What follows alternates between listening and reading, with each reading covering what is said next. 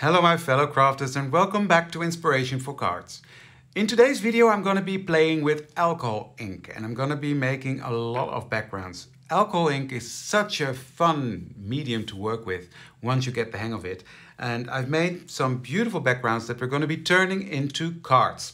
Now we made a lot of these. Um, I've turned it into six cards, but I've made more backgrounds, obviously. So these are the cards that we're going, to be making today.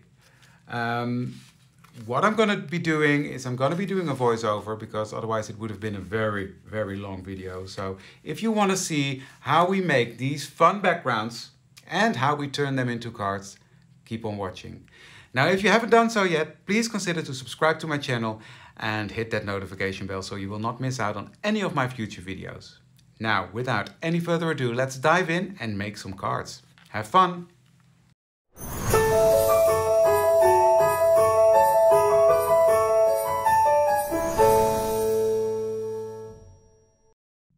Okay, I'm starting off with just putting some plain alcohol, 95% alcohol, on my Yupo um, and adding some colors of alcohol ink.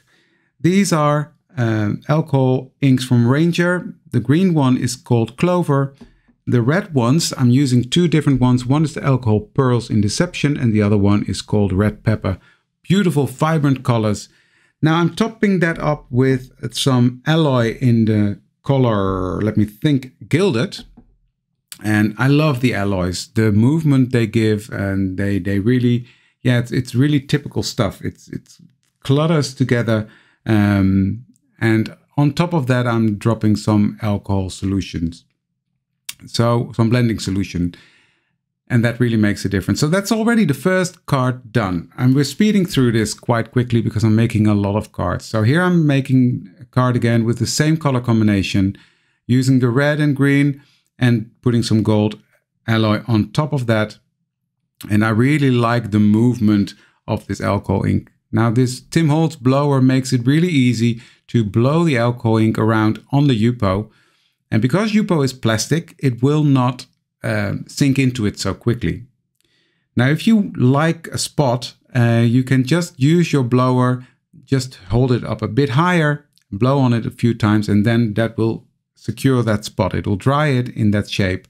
And otherwise, it's always best to leave the alcohol inks to dry just air dry. However, I'm gonna be using a heat tool in a minute because I want some specific effects.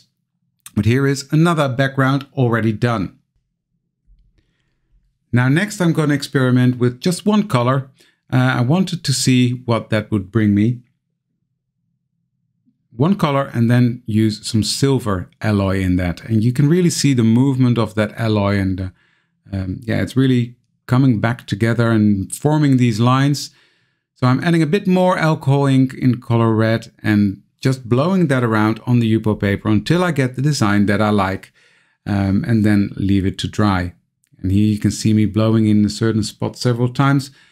But here I'm taking out my heat tool because I want some differentiation in the color. I'm um, I want some uh, parts to dry so you can really see the darker lines on the edges of the puddles. And that's what you achieve when you dry the alcohol ink with the heat tool. Next, I'm going to go to some blue colors and I'm using Stream and Pool, both from Ranger, on the Tim Holtz Yupo paper. And I'm putting silver alloy on top of that. Now the silver alloy reacts slightly different than the gold one in my opinion, but still very nice. And combining that with alcohol ink and blending solution, it gives a very nice effect. Um, and I really like playing around with these alcohol inks. And I'm making a lot of backgrounds in one go because it's quite messy. And once you've got everything out, you might as well just go ahead and do it. Here again, I'm using a heat tool to dry uh, to get these darker colored edges and then blowing the, so the parts around that were not dry yet. Again, I'm putting down some plain alcohol and some green and red again. And now I'm putting some brown in between. It's, it's the color rust uh, to get a slightly different shade of background and then putting the gold, the gilded, I should say, alloy on top of that again. But again, I love playing around with alcohol inks. It's just giving so much movement and, and I really like the depth and color it gives. Um, and playing around with it is just plain fun. And if you don't like a spot, put some alcohol or blending solution on top of it again, and you can continue to play around with it without uh, destroying anything. And in the end of the day, it's just paper. So just play around and have fun. And that's what I'm doing here, creating all these backgrounds. And I'm really having fun with this, let me tell you. And here's another one already finished. Next, I want to play around with two different colors. I'm using the flamingo and raspberry colors, both from Ranger, um, to create more of a pinkish reddish uh, background. And I'm adding the silver alloy to this for some contrast, but I really, again, I really like how these alloys play around.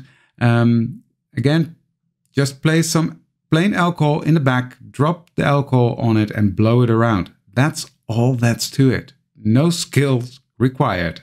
That's what I like. Um, and yeah, it's it's just fun to do. And you can see the alloy moving around and cluttering together, forming these edges and lines. Um, and there I'm putting it to the side to dry. The majority I leave to dry in the air and just take the time because that's really what it's all about. Here I'm using the same blue colors as I did before, but I added the stone washed to it uh, to give it a bit more depth. That's a bit darker blue.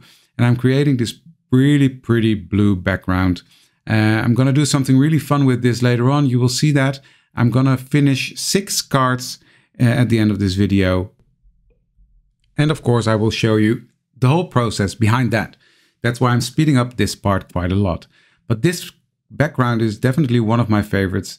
Um, here I'm putting on the silver alloy and some blending solution. And yeah, this is really a cold, icy, skyish feeling to it. Yeah, I really, really like it.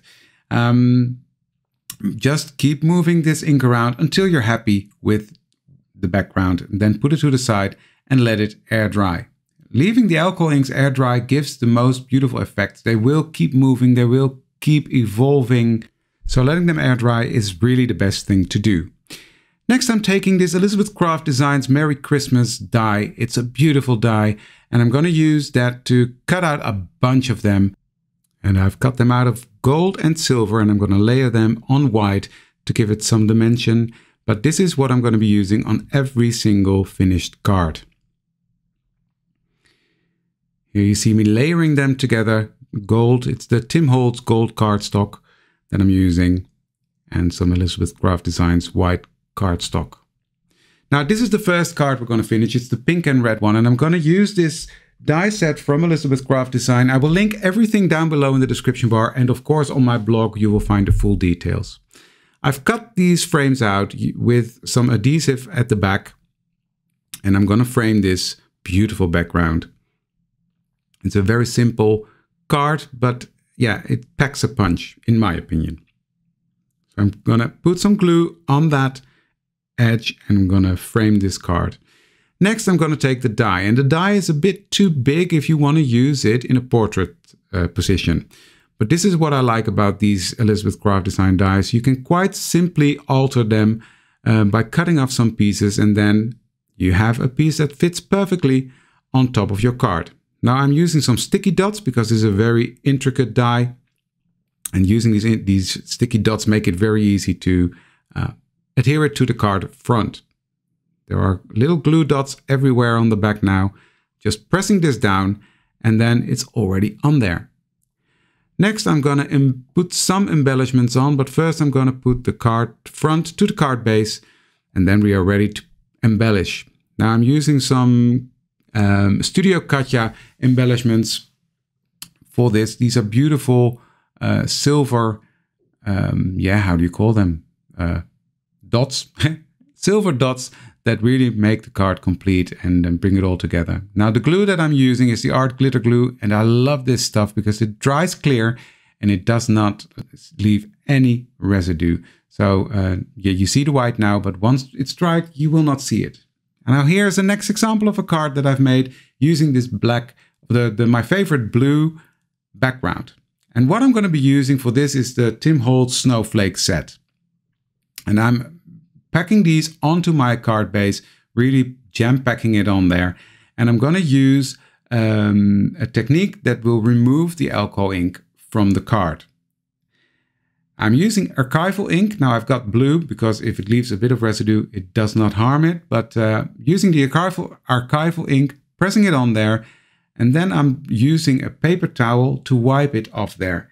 And it gives like a ghost-like impression of this stamp. And that is a really fun uh, way of giving some dimension to your alcohol ink backgrounds. Here you can see the white coming through. And yeah, it's a really fun way of doing it.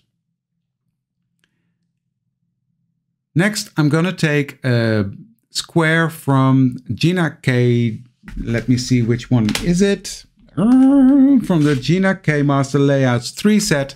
Um, and I'm going to die cut that out to make a square. I'm going to do that from this and a slightly bigger one from silver that's going to function as a mat. Now I'm going to put these two together. Put my front on my matte layer, the beautiful silver also from the Tim Holtz paper pack. And then I'm going to put that on the card base using um, my advanced tape glider. Love this thing. Put it on there. Then I'm going to take my Merry Christmas, the same one for all the cards, put some glue on the back and put it on there. Now here I'm still debating white or silver, but I still go for the silver. Silver is the same silver as I used for the uh, second matte layer, so it all brings it together. Now it's on there, and I am using the same Studio Katja embellishments to put on there to give it a bit more oomph. Not that the card really needs it, but yeah, I always like to put some embellishments on. And this is a fun bit of these beautiful backgrounds. You can really make a lot of cards quite quickly. Now we're moving on to the last card that I'm making on camera and that's another blue background that I made. Again, the same sentiment, the same embellishments, um, but I'm now using a long form background um, and that's also really fun to use, these background dies to make a beautiful background. Now I'm putting on this one on some foam tape to give it some dimension and then put it on a background card. Um, I have these standard plain backgrounds already, not backgrounds, uh, card bases already folded, pre-done. And what I do, I just stick it on and then I get my Tim Holtz trimmer out and just trim off the bottom so that it's all nicely uh, on there. There we go. And again, I'm using the Elizabeth Craft Designs Merry Christmas to put it on there, um, making this card a landscape card so I don't have to trim it down put some glue on and put it on there. And again, already done. Just put on some embellishments, the same from Studio Katja, and uh, the card is done and ready to go in the mail for Christmas. Now off camera, I made some other cards using the same techniques, etc. That's why I didn't film it here. I made the squares using the Gina K master layout set, um, just with the gold mat. And I made this one using the same frame from Elizabeth Craft Design with the same embellishments, etc. So all in all, beautiful cards using alcohol inks as a background and really fun to make. If you like this video, please give it a thumbs up and consider to subscribe to my channel so you will not miss out any of my future videos. Thank you for watching this one and I see you for the next one. Bye!